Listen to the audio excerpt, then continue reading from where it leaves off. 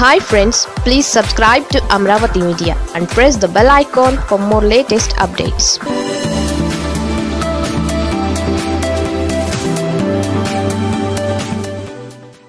high court తీరు దాని మీద అంటే హైకోర్టు వ్యవహరించిన తీరు మీద కావచ్చు హైకోర్టు నిన్న గవర్నమెంట్ కి వ్యతిరేకంగా ఇచ్చిన తీర్పులు కావచ్చు వీటి మీద ఇటువంటి తీర్పులు ఎప్పుడైనా ఇచ్చారా అని చెప్పి సుప్రీంకోర్టు కొంత హైకోర్టుకి కొంత వార్న్ చేసింది పరిస్థితి.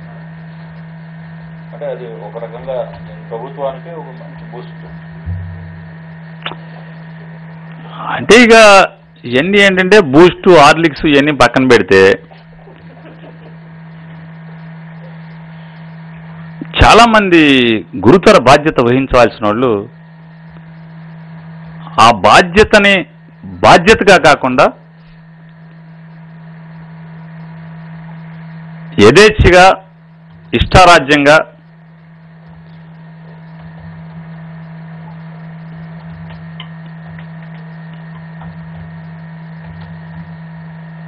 అంటే అకౌంటబిలిటీ అనేది కూడా లేని పరిస్థితుల్లో.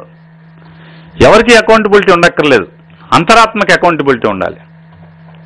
కనీసం వారి అంతరాత్మకు కూడా అకౌంటబిలిటీ లేకుండా వ్యవహరిస్తున్న తీరుతెల్లను మనం చూస్తున్నాం. కాలమే నిర్ణయిస్తుంది? పైన భగవంతుడు ఉన్నాడు మేము. ఈ మా మా జగన్మోహన్ రెడ్డి గారి ప్రభుత్వం భగవంతుడిని నమ్ముకున్నాం. ఫస్ట్ భగవంతుడు తర్వాత ప్రజలు. ప్రజలు కాసుకుంటూ ఉన్నారు. భగవంతుడు కూడా కాస్తానే ఉన్నాడు. చూద్దాం భగవంతుడు ఉన్నాడు కాలమే నిర్ణయం చెప్తాడు ఆయన. సార్ మన ఢిల్లీ పర్యటనలో అమిత్ షా గారికి రిప్రజెంటేషన్ ఇచ్చినప్పుడు ఈ మూడు రాజధానుల విషయంలో కొంత ముందుకు తీసుకెళ్ళాలని అమిత్ షా గారిని అడిగారు కదా దాని గురించి ఏమైనా డిస్కషన్ జరిగిందా? మూడు రాజధానుల గురించి ముందుకు ఇవ్వలా? కర్నూలులో హైకోర్టు నోటిఫై చేయమని చెప్పి రీనోటిఫై చేయమని చెప్పని ఇచ్చాం.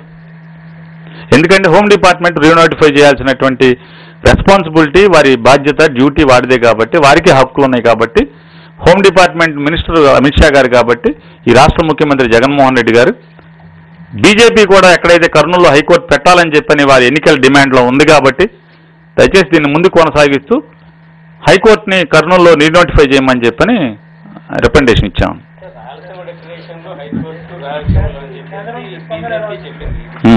రాయలసీమ మళ్ళీ ఇప్పుడేమో రాజధాని ఇక్కడే ఉండాలని చెప్పి అంటున్నారు.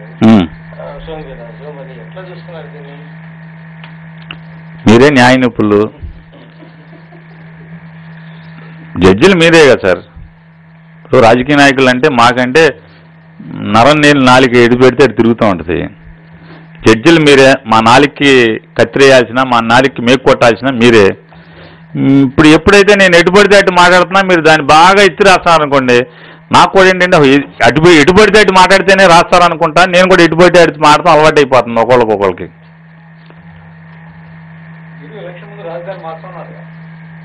ఇప్పుడు మారుస్తున్నాను ఎవరు చెప్పారు? హరిగోవింద్ గారు చెప్పాడా? పోనీ జగన్మోహన్ రెడ్డి గారు ఏమన్నా హరిగోవింద్ గారు చెవులో చెప్పారా మారుస్తున్నానని? ఏమండి? హిందూ వ్యక్తుల మీద కోపం ఎందుకు ఉంటుందండి వ్యవస్థలు గాడి తప్పినప్పుడు వ్యవస్థ మీద కోపం ఉంటుంది వ్యక్తి మీద ఎందుకు ఉంటుంది అసలు? అందులో విలేకరులు ఎవరు? సార్ మరొక పెన్ను లాంటి వాళ్ళు. వారి విధి చెయ్యి ఏది రాస్తే అది అంతే కదా?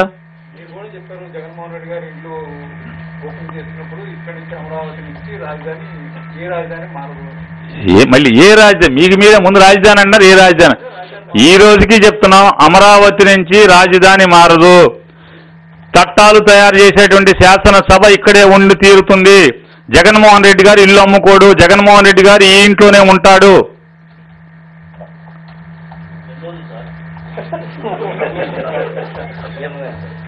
జగన్మోహన్ రెడ్డి గారు జీవించి ఉన్నంత కాలం ఇక్కడే ఉంటాడు. మీకేం కావాలి? రోజులేంటి దానికి?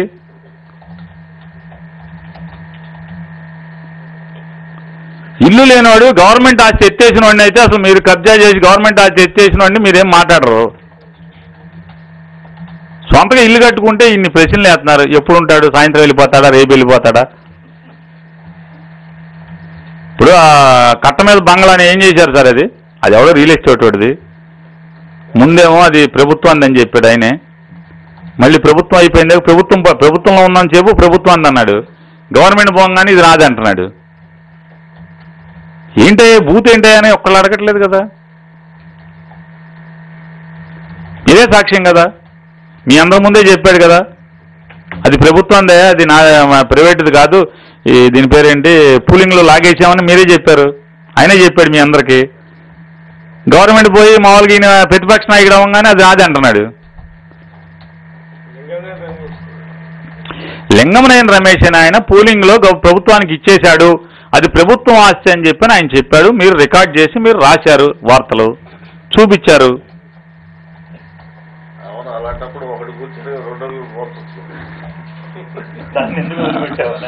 బాబాయిలు ఉన్నారు ఆపేటాకి.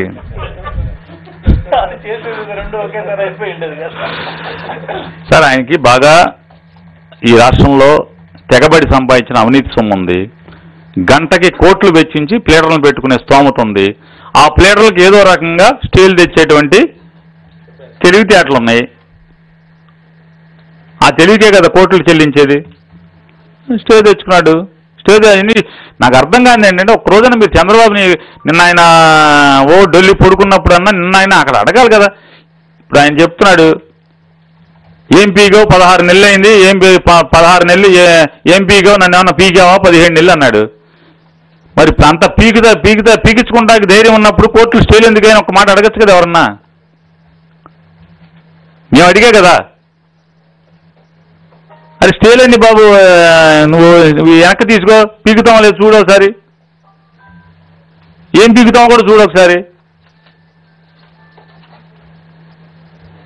ఎందుకు ఈ లేట్ వయసులో యవనం వయాగ్రా తీసుకోవడం ఎందుకు అయినా? అంతే కదా ఇప్పుడు ఎప్పుడు నా భాష ఉందా చంద్రబాబుకి? ఎందుకు ఆ భాష? అంటే అదే అదే వయాగ్రా తీసుకుంటావు ఎందుకు ఈ వయసులో అంటున్నా? హార్ట్ అటాక్ వస్తుందని మీరే చెప్తున్నారు కదా.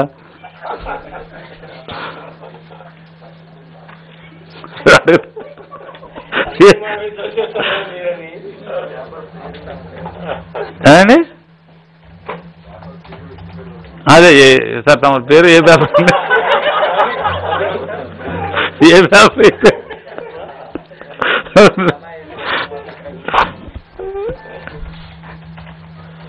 ఏం టీ టీ తాగుదాం? తప్పకుండా అడిగి చెప్తా సార్ అంటే లా మినిస్ట్రీ నా దగ్గర లేదు సీఎం గారి దగ్గర ఉంది. తెచ్చుకున్నారని ఉంది. అంటే అప్పుడెప్పుడో నేను బాగా నేను చదువుకునే రోజుల్లో బాగా అంటే కుర్రోడుగా ఉన్నప్పుడు ఏలేరులో డబ్బులు తినేశాడు కోర్టుకి వేస్తే అప్పుడు ఎవరో వేశారు కోర్టుకి కంబైన్డ్ స్టేట్లో అప్పుడు తెచ్చుకున్నాడని ఒకసారి చెప్పారు. ఏలేరు స్కామ్ ఏదో స్కామ్లో.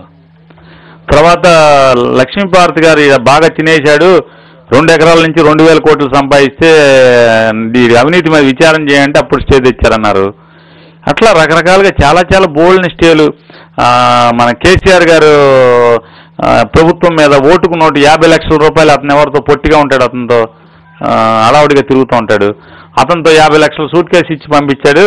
అప్పుడు ఫోన్లో బ్రీఫిడ్ మీ మనవాడు briefed me you vote I I will I stand you come we talk అని చెప్పని ఆయనతో మాట్లాడాడు ఫోన్లో. అప్పుడు స్టే తెచ్చాడు దాంట్లో అని చెప్పారు. మళ్ళీ తర్వాత కాదండి ఫైబర్ నెట్ కేసులో ఏదో కేసు అంటే దాంట్లో రా రాజధానిలో ఇన్సైడ్ ట్రేడింగ్ ఉన్నాయి దా దమ్ముంటే రా అన్నాడు దాని మీద అంటే దాని మీద స్టే.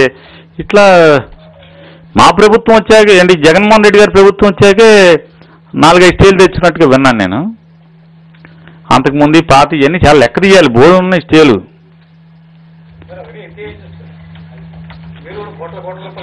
ఫీజులు కడతాకి డబ్బులు లేక అని చెప్తున్నాను కదా ప్లేటర్ని పెట్టుకోవాలిగా మీరు తీయండి ఎన్ని కోట్లు ఖర్చు పెట్టినా కనిపిస్తుంది కదా ఏం ఏంటిది? ఎక్కడి నుంచి ఖర్చు పెట్టారు? ఏ లాయర్కి? గవర్నమెంట్ కడుతుంది కదా. మీరు రాసే లెక్కలన్నీ మేము చెప్తేనే రాస్తున్నారా ఆంధ్రజ్యోతిలో బోళని లెక్కలు రాసేస్తున్నారు కదా sir. Uncle uncle uncle uncle అయినా మేమే ఇస్తున్నామా? ఇది కూడా రాసేయండి మీరే. పని అలా కాదు. ఏమైనా నాని నువ్వు సమాచార శాఖ మంత్రిగా నాకు ఈ లెక్కలు ఇచ్చావు ఈ వార్తలు రాశాను ఎప్పుడు అన్నారా? అన్నీ మీరే రాసేసుకుంటున్నారు కదా లెక్కలు అంకిలు అన్నీ. ఇది కూడా రాసేయండి ఏముంది దాని గురించి? ఎంత ప్లేయర్కి ఇచ్చాం ఏ ప్లేయర్కి ఇచ్చాం రాసేయండి ఏముంది?